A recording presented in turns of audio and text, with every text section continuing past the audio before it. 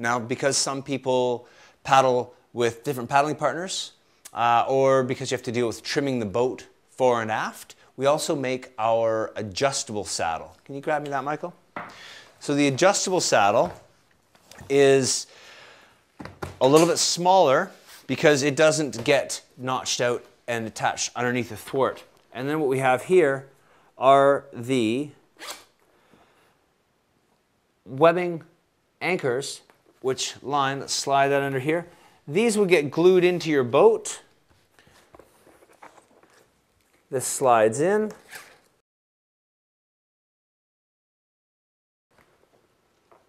And through this way. And then what that allows the user to do, we typically mount these so it lays flush because we don't want it to rock back and forth.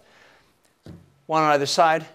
And you can see that if that were out of it, we could, we could move it back and forth.